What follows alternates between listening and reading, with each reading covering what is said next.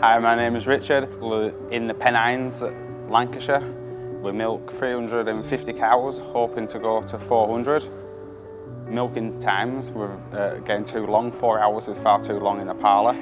So we had a look at the options and then we decided to go to a rotary. We found that the Dairymaster was the nicest finished parlour. It came as a full package with all stainless steel on it. It just came with everything. Since putting a Dairymaster parlour in it, lifestyle is a lot more relaxed. Milking times have easily halved.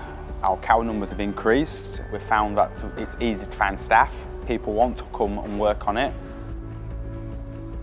We've gone for a backing gate with a, a scraper on it. It moves up every 10 cows. Uh, gates where it comes into the parlour to slow them down because they're too keen and too eager to get onto the parlour. The clusters are easy to put on the cows. They're nice and light. The cows start letting the milk down straight away.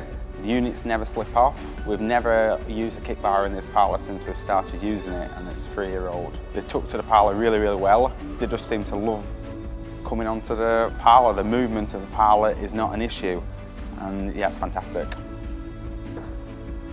It feeds to uh, calving days and then also to how much the cow gives. So the cow, at the beginning when it comes to lactation, she will be fed to encourage us to come to milk. And then when she comes to milk, it will keep that milk going ahead as long as its lactation goes.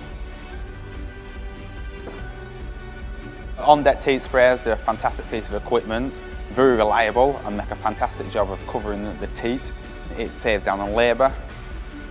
If any of the cows um, have issues or problems, if the milk's depressed, it just puts the retention bar down and brings them round. When we looked at parlours originally, was a bit concerned about no one being round at the other side. I would never have any quibbles on that again, like it's very accurate. If any problems, it'll bring them back round and you will see them here. Drafting, we've never had that before. We're really impressed with the drafting. You never ever miss a cow fantastic machine, it works well, very reliable. Um, it's quite capable of milking 1,000 cows if you want to, but if we can keep it to 400, it'd be fantastic.